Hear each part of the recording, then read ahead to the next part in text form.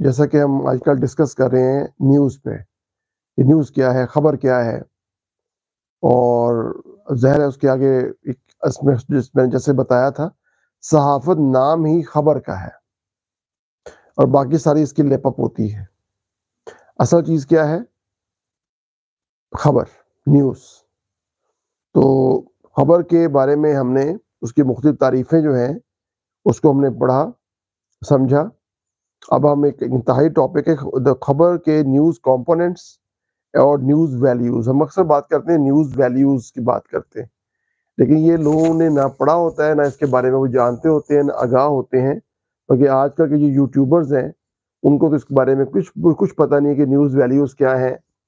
और आज chief justice की अदालत में भी इस बात पर डिस्कस किया गया है, कुछ सो कॉल्ड सहाफ़ियों को भी और प्रोफेशनल सहाफ़ियों को भी नोटिस जारी किए गए। जिनको जो कंटेंट है, वो गैर मुनासिब है। और एक हमारी काबिल एहतराम जज जो है, साहबा जो हैं, उन्होंने बहुत अच्छा उन्होंने एक बड़ी बात क्लियर बात की कि आजकल कोई जो काम नहीं करता, वो पैसे कमाने के लिए गालम गलूच करता है, दूसरों पे तनकीद करता है।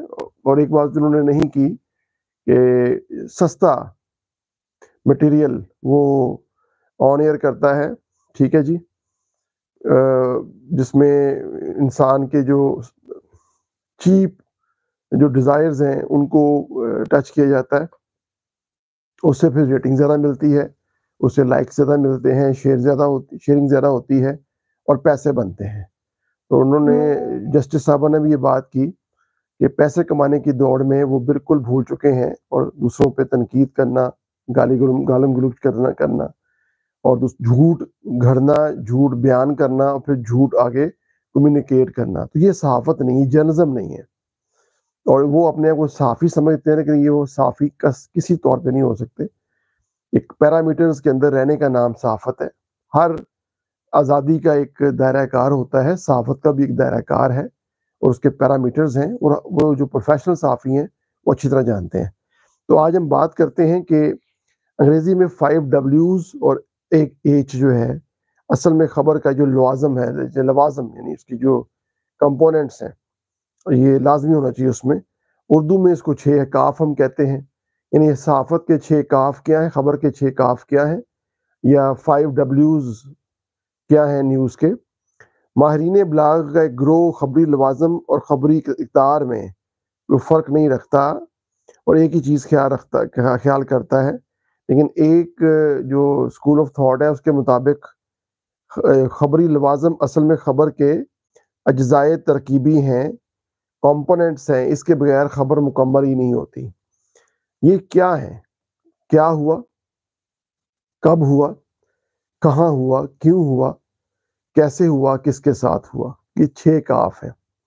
यानी खबर कोई हादसा है तो छह सवाल मौजूद होंगे तो खबर सही मानों में खबर होगी, मुकम्मल होगी। हादसा हुआ, क्या हुआ? हादसा हुआ, कब हुआ? ठीक है, कहाँ हुआ? क्यों हुआ? कैसे हुआ? और हादसे के नतीजे में क्या हुआ? 17 अगस्त उन्नीस सौ अठासी को पाकिस्तान के सदर जनरल मोहम्मद जियाउल्ला का सी वन थर्टी जहाज़ हादसे का शिकार हुआ। इसमें सदर पाकिस्तान जनरल मोहम्मद जियाउल्ला अपने रफका के हमरा मौजूद थे। जब जहाज़ बहावलपुर एयरपोर्ट से रवाना हुआ तो बस्ती लाल कमाल के नज़दीक जहाज़ कलाबादियाँ कलाबाजियाँ खाता हुआ ज़मीन पर आ गिरा और धमाके से फट गया। एनी शाहिदीन के मुताबिक गिरने से पहले जहाज़ को आग लगी हुई थी। हादसे के नतीजे में पाकिस्तान के सदर general Mohammad Ziaul Haq, chairman joint chief of staff committee general Akhtar Abdulrahman समेत सीनियर फौजी क्यादत और अमरीकी सफ़ीर आनंद राफेल और ब्रिगेडियर जनरल वासिम जाम हक हो गए। रोजनामा जंग की खबर 18 अगस्त की जो शाया हुई, उसमें छः काफ मुंदजा जैल सूरत में हमें नज़र आते हैं। क्या हुआ? ठीक है? मतलब ये इस तरह हम कह सकते हैं कि ये खबर है जंग की हमने देखा। उसमें छः काफ। क्या हुआ? अफ़गानिस्तान पर हमला हुआ। किसने किया? अमेरिका ने किया। कब हुआ? गुजशत रात के पिछले पहर हुआ। कैसे हुआ? मिज़ाइलों और तैयारों से हुआ। क्यों हुआ? तालिबान हुकूमत को तस्लीम न करने उनके रवैये की वजह से क्या नतीजा निकला? अनगनत शहरी हलाक हो गए, लाखों जख्मी हो गए, सैकड़ों इमारतें तबाह हो गई। छः काफ अगर कोई मैच हो तो कैसे होगा? क्या हुआ? पाकिस्तान भारत दरमियान मैच हुआ। कहाँ? कोलकाता में। कब? आज? कैसे? पहली इनिंग्स पाकिस्तान ने खेली दूसरी, भारत ने क्या रहा? कारकर्दगी पाकिस्तानी टीम की बेहतर रही। कौन? फाते पाकिस्तान फाते रहा। तो खबर के लवाजम जो है, यानी ये इसमें, ये जो आज का जो टॉपिक है हमारा, ये खबरी लवाजम और खबरी इकदार तो खबर के लवाजम क्या होते हैं? उसमें न्यूज़ कंपोनेंट्स जिसे हम कहते हैं, बाज, खबर बाज अनासर से मिलती है, उन्हीं को खबर का अज्जाए तरकीबी या लवाजम कहा जाता है। एक उस में कुर्ब ज़मानी ठीक है जी? और उसमें ये होता है खबर की इशात किसी ताखिर के बगैर होनी चाहिए। किसी किसी ताखिर के लेट होने के बगैर होनी चाहिए। खबर जितनी पुरानी होती जाएगी उतनी गैर दिलचस्प होती जाएगी। अब ये जो इसको अगर हम और उसमें करें आ, आ, अपना इलेक्ट्रॉनिक मीडिया में तो तब भी यही है। खबर फौरी तौर पे ऑन एयर होनी चाहिए। जो ब्रेकिंग न्यूज़ का ट्रेंड है वो इसी तरह ही चल रहा है। सबसे पहले ये खबर हमने जारी की क्रेडिट हमें जाता है।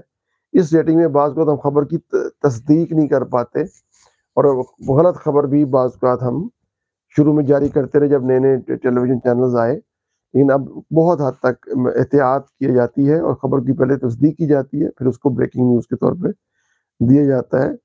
लेकिन ये जो जिम्मेदार चैनल्स हैं वही करते हैं, बाकी तो कोई इस पर अमल नहीं करता। अच्छा इसके अलावा पुरानी जो खबर होती है, हफ़्ता, महीना, साल पहले की, वो भी अहम खबर है। अगर खबर आ गई कैसे हादसा हुआ, उसके पता चल जाए। यानी जियाउल्ला की तैयारी क्रैश आज पता चल जाए कि उसकी वजह क्या थी तो आज भी वो अहम खबर है। और एक एक साफ़ी कहते हैं कि एक मुमताज़ साफ़ी हैं, सीनियर साफ़ी कहते हैं कि ताजगी का अंसर जो है, एक अच्छी खबर का लाजम, लाजमी जुज है, या उसका लाजमा है, उसका उसका उसमें बहुत ज़रूरी उसका इम्पोर्टेंट हिस्सा है। कहा जाता है, अखबार की मार्केट में कल नामी कोई चीज़ नहीं होती, सारा माल आज का माल होता है। खबरों में अमूमन आज आज सुबह, आज शाम के अल्फाज से हम इस्तेमाल होते हैं और यही होने चाहिए। इलेक्ट्रॉनिक मीडिया का दौर है, इसमें हर लम्हा एक नई खबर आती है और हर लम्हे बाद खबर बासी या पुरानी हो जाती है। दूसरा उसमें होता है जी, कुर्ब मकानी। कुर्ब मकानी के, ज़मानी के बाद कुर्ब मकानी अहम लाजमा है। खबर में जोग्राफिकल फासत सिमट गए हैं। कायरीन, नाजरीन, सामीन, दुनिया के हर हिस्से में रूनुमा होने वाले वाक़ पढ़ना और सुनना चाहते हैं। लेडी डैना का कत्ल हादसा था। यह कत्ल कत्ल था। चीन की नई साइंसी जायदाद क्या हैं? लोग इनके बारे में जानना चाहते हैं। इसके बावजूद लोग अपने करीबी इलाके की, अपने शहर की, अपने मोहल्ले की खबरें सुनना और जानना ज़्यादा पसंद करते हैं।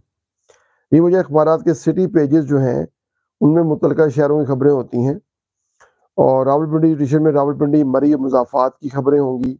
लाहौर डिशन में लाहौर, कसूर शेखपुरा उकाड़ा की खबरें होती हैं। तो यहाँ के लोगों की दिलचस्पी का बायस होती हैं। अब लाहौर के लोग पिंडी की खबर तो पढ़ना ज़्यादा पसंद नहीं करते हैं। या पिंडी की खबर वाले लाहौरी खबर को सुन, जानना जरा पसंद नहीं करेंगे। तो खबर वो जो आपके इलाके की हो ज़्यादा दिलचस्पी का बायस होती है। यही टेलीविज़न में भी सूरत हाल है।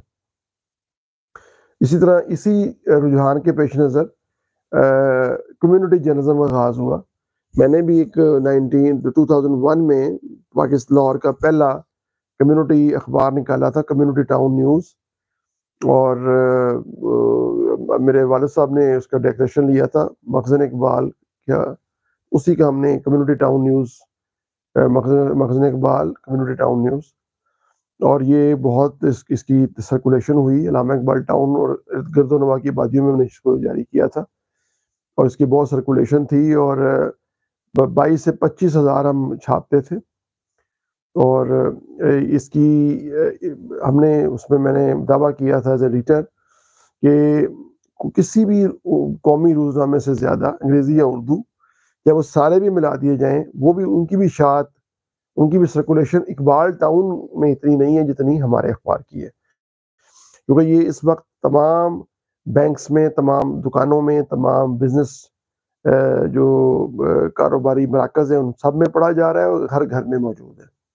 शुरू में हमने इसको एक घर छोड़ के एक घर में किया, उसके बाद फिर ये इसको पच्चीस हज़ार जब इसकी इसकी सर्कुलेशन हुई तो उसमें हर किस्म के सरकारी ऐड भी हमारे पास आ रहे थे और गैर सरकारी ऐड भी आ रहे थे, मुकामी इश्तहार बहुत आ रहे थे। और यहाँ की जो केबल नेटवर्क थे उसमें कैप्टन जब्बार साहब थे गल्फ के, पर उन्होंने हमसे भी एग्रीमेंट किया कि हम आपकी चलाते हैं एडवर्टीजमेंट और आप हमारी चलाएँ। तो मतलब बहुत ज़्यादा ये कामयाब एक्सपीरियंस था।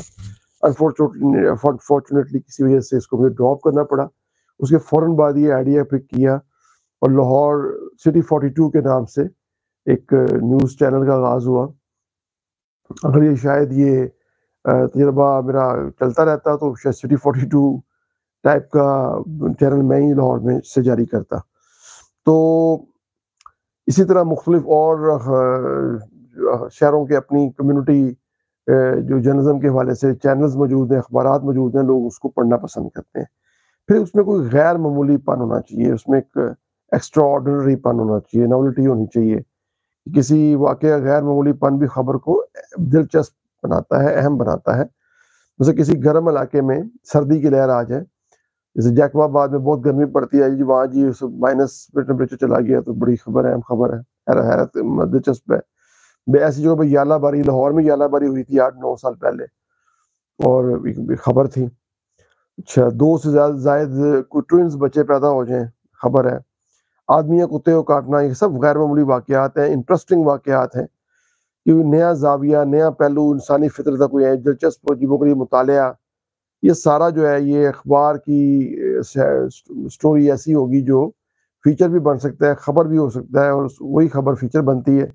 और यही ब्रेकिंग न्यूज़ भी बन सकती है टेलीविज़न पे और बहुत लोगों की दिलचस्पी का बायस बन सकती है। फिर कॉन्फ्लिक्ट बड़ा लोगों को अटैक करता है सादम कशमकश। खबर में हरकत का मौजूद होना भी एक उसकी खूबी है कि हरकत से मुराद ये है कि जो सुन रहा है या पढ़ रहा है, उसके जहन में एहसास पैदा हो कि ज़िंदगी किसी खास शोबे में एक नई सूरत पैदा हुई है कोई सुकून जो जमूद नहीं है। और तसादम हो कॉन्फ्लिक्ट हो तो बड़ा अहम खबर बन जाती है। देखें कि लोग इस किस्म की खबरों को सुनना पढ़ना बहुत पसंद करते हैं। और ये खेल के मैदान में भी ऐसे ही होता है। तसादम ही होता है ना कि कौन जीते कौन हारेगा। मुहिम जो जो एडवेंचर है साइंसी तरक्की का दौर है। इसमें रिपोर्टर के लिए मुहिम जो भी खबर का लाजमा है जो मुहिम अपनी असरात और दिलचस्पी के लिहाज से अहम होगी। वो ज़्यादा अच्छी खबर बन जाती है और क्यूरियोसिटी इंसान का वैसे भी इंसान की उसकी नेचर में है। और ज़्यादातर लोग खुद तो मुहिम सर सर, सर सर नहीं कर सकते लेकिन दूसरी जो मुहिम जो लोग हैं उनसे उनकी खबरों से बाखबर आना चाहते हैं। जैसे माउंट एवरेस्ट को दोबारा किसने सर किया? के टू किसने सर किया? और इस तरह दुनिया के अमीर तीन आदमी कौन है इस वक्त? लेट रेटिंग में कौन है? खूबसूरत कौन है? पॉपुलर कौन है? ये सारा जो है ये एक उसमें आ जाता है। और अगर कोई अखबार या टीवी चैनल किसी मजदूर या क्लर्क के माली मसाइल को तो काबिल दरखू इतना नहीं समझेगा, लेकिन करोड़पति दिवालिया हो जाए या बादशाह का तख्त चन जाए तो उसे बड़ी खबर हम सब मनाएँगे। इमोशंस होती है जिसमें बहुत ज़्यादा अच्छी खबर जो है उसका हिस्सा है। इंसानी जज्बात जो हैं, उसमें जो इंसान जज्बात और एहसास का मौका है। हर इंसान किसी हद तक ज़रूर जज्बा, जज्बाती होता है। इसलिए ऐसी तमाम खबरें जिसमें जज्बात इमोशंस हों, वो बहुत ज़्यादा दिलचस्पी का बायस होते हैं। जैसे किसी अहम शख्स, किसी मुल्क की वली वली या शहजादी कोई मशहूर अदीब, फिल्मी अदाकार या उसका नाम हो सेलिब्रिटी का वो ज़िक्र हो तो वो बहुत ज़्यादा दिलचस्पी का बायस होती है। अब देखा होगा ऐसे तमाम खबरें गॉसिप्स जो होते हैं जो किसी शोबिस के बारे में होते हैं हॉलीवुड स्टार के बारे में होते हैं बॉलीवुड स्टार के बारे में, सियासी लीडर्स की पर्सनल लाइफ के बारे में, वो ज़्यादा अट्रैक्टिव होती हैं, समझी जाती हैं, पढ़ी जाती हैं, सुनी जाती हैं। इसी तरह आप देख लें कि शख्सियात की खबरें, बड़ी शख्सियात हैं, जैसे इमरान खान जब क्रिकेटर थे तो उस वक्त बड़े पॉपुलर थे। एक बकरिंगम बकरिंगम पैलेस में एक दफ़ा उनका हेड गिर गया किसी फ़ंक्शन के दौरान तो प्रिंसेस ऑफ़ वेल्स डायना ने वो उठाया हाथ हैट उनका, उनको दिया। तो खबर थी। तो एक सेलिब्रिटी थे इमरान खान। उसके बाद वो पॉलिटिक्स में आगे वो एक अलग एक सिलसिला है, लेकिन ऐसे जो सेलिब्रिटीज राजेश खन्ना साहब एक वक्त था कि जब वो निकलते थे तो कहते उनकी जो गाड़ी थी वाइट कलर की थी और वो जब कुछ लम्हों बाद ही वो खातन की लिपस्टिक से वो सुर्ख हो जाती थी। तो इस तरह कोई ज़माने में ख़वातीन ने उनकी तस्वीरों से शादियाँ की शादियाँ की, तो ये ख़बरें हैं, मतलब सेलिब्रिटीज़ बड़ी इंपॉर्टेंट होती हैं। मुकामात, प्लेसेस जो हैं, उसकी नस्बत से ख़बरें बड़ी अहम होती हैं, मतलब ऐवान सदर की ख़बर इंपॉर्टेंट होगी, पार्लियामेंट की ख़बर इंपॉर्टेंट होगी, जुडिशरी के हवाले से सुप्रीम कोर्ट की ख़बर इंपॉर्टेंट होगी। मीनार पाकिस्तान, शाही किला से कूद खुदकुशी कर लेना या जहांगीर जो मुग़ल एम्परर थे, फोर्थ मुग़ल एम्परर, उनके शाहदरा में मकबरे से ज़ंजीर अदल मिल जाना, शहंशाह अकबर की कुछ दौर की चीज़ शाही किले से मिल जाना, जैसे शाही हमाम दरियाफ़्त हुआ था, ये सब ख़बरें हैं। तादाद और वुसअत मैग्नीट्यूड क्या होता है, मतलब उसमें किसी हादसे में एक हर शख्स बाल-बाल बच जाए या चंद अफ़राद को मामूली ज़ख्म आए, तो ख़बर आपको शायद इतनी इम्पोर्टेंट नहीं होगी, लेकिन अगर ज़्यादा जाने खुदा ना ख़ास्ता चली जाए तो ख़बर इम्पोर्टेंट हो जाती है। तो इसी तरह अमून मार्केट में दिसंबर 2009 में खुदकुशी हमले में 56 से ज़्यादा अफ़राद हलाक हुए थे और और पूरे अखबारों की सारे अखबारों की हेडलाइन्स थी और ब्रेकिंग न्यूज़ थी, तो ये इस तरह होता है। और इसमें मुकाम की अहमियत ज़्यादा थी, चूँकि मुकाम धमाका लाहौर में हुआ था और मसरूफ़ तरीन मार्केट में हुआ था। पेशावर में भी धमाके होते रहते हैं, बेशुमार हलाकतें होती रहती हैं, लेकिन पेशावर में धमाका होना उन दिनों मामूल बन गया था, अनफॉर्चुनेटली। इसलिए वो ख़बरें हेडलाइन की जगह नहीं, सुपर लीड या लीड की जगह नहीं पाती थी तो ये चीज़ है। इसी तरह राज़ जो है, इंसान की फ़ितरत है कि कोई मालूमात की वो तह तक पहुँचना चाहता है। वो पोशीदा या खुफ़िया बातों का सुराग लगाना चाहता है। या चुनांचे राज़ अफ़शा हो, तो वो अपने तासरात के एतबार से अहम ख़बर बन जाता है। खाना काबा में मुर्तदीन के कब्ज़े की ख़बर पेश कर दी गई। अब राज़ ज़ाहिर हुआ कि मुर्तदीन जो है चारपाइयों पर असर रख के जनाज़ा जहर करके खानागाह में दाख़िल हुए थे, तो फिर ख़बर के तौर पे पेश किया गया और यूँ-यूँ वाक़ शर्मनाक वाक्य से पर्दा उठता गया, ख़बर बनता चला गया। तो आज का जो हमारा टॉपिक है वो दो अहम इसके जो ख़बर के लवाजम और ख़बरी इक़दार, इसको माहरीन कहते हैं कि जब तक ये ना हो, जैसे 6 काफ या फाइव डब्ल्यूज़ और ए वन एच और इसके जो लवाजम हैं, कंपोनेंट्स हैं, तो ख़बर मुकम्मल नहीं होती, उसे हम ख़बर नहीं कह सकते। तो आज के यूट्यूबर्स को भी ये जानना चाहिए कि ख़बर क्या है और ख़बर में क्या हो, तो वो ख़बर है। सिर्फ़ ये नहीं है कि आप फ़ोन खोलें और जो दिल की बोल दें या लिख दें और बस पता नहीं है मैं क्यों बोल रहा हूँ, पता नहीं है मैं क्या कर रहा हूँ, सिर्फ़ पैसे कमाने के लिए, ये जर्नलिज़्म नहीं है। अपना ढेर सारा ख़्याल रखें।